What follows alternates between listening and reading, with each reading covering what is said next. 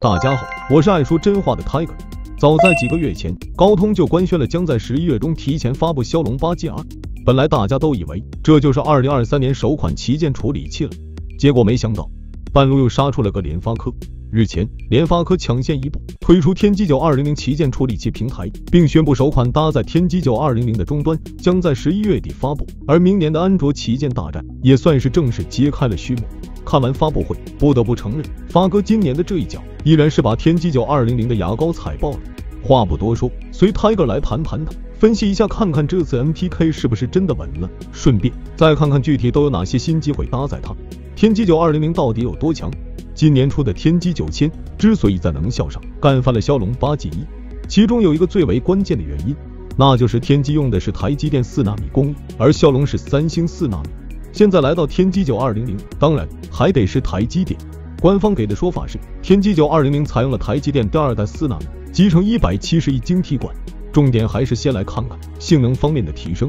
CPU 方面，天玑九二零零采用一加三加四的三重级架构，超大核全球首发 Cortex X 三，频率为三点零五 G 赫兹，大核为三颗 Cortex A 七幺五，频率为二点八五 G 赫兹。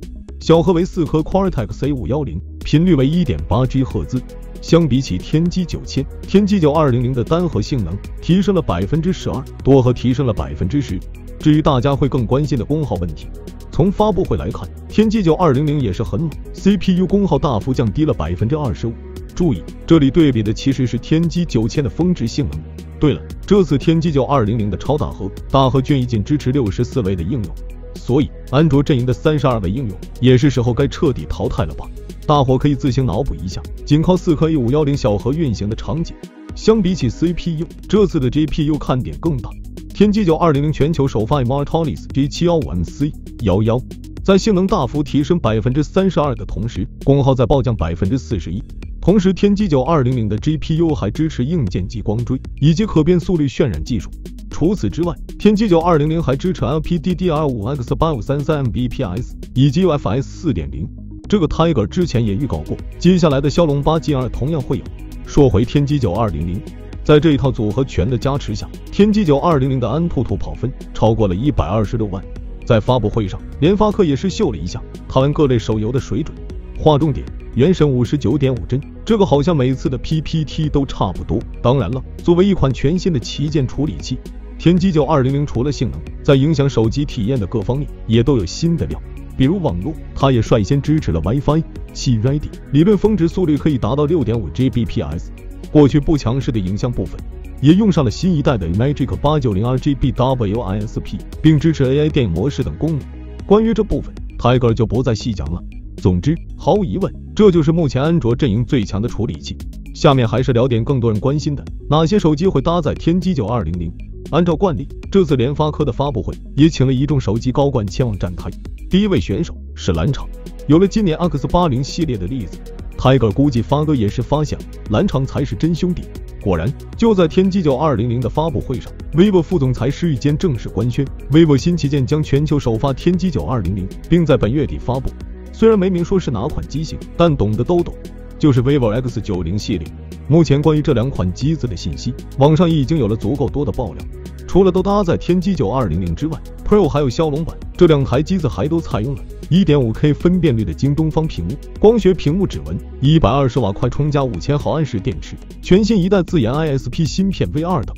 两者最大的区别还是在影像上，其中 X 九零预计还是采用 IMX 八六六主摄，而 X 九零 Pro 天玑版则是会选择直接上一英寸的 IMX 九八九。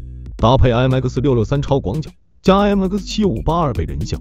关于外观部分，官方也来了第一波爆料。完整的背部设计，Tiger 猜应该也就是比下面这个 X 九零 Pro Plus 少了个潜望镜。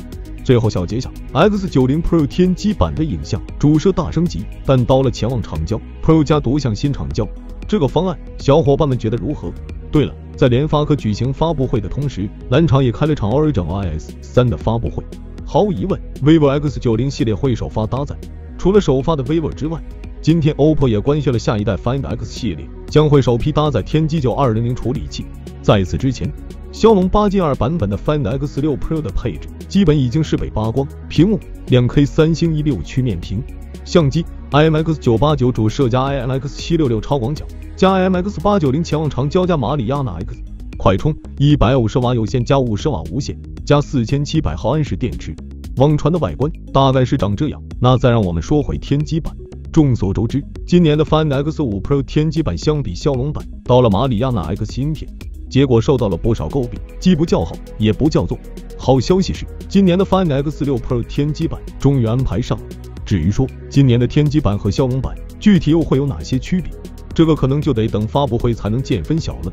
别的先不说，希望相机的其他配置也都保持同步就行。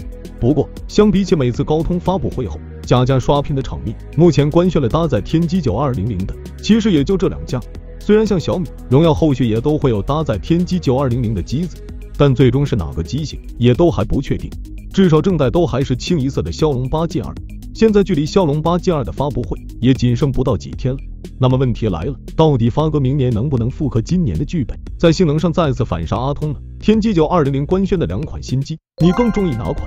欢迎评论区告诉我你的答案。想了解更多数码资讯，记得关注我们的频道。我们下期再见。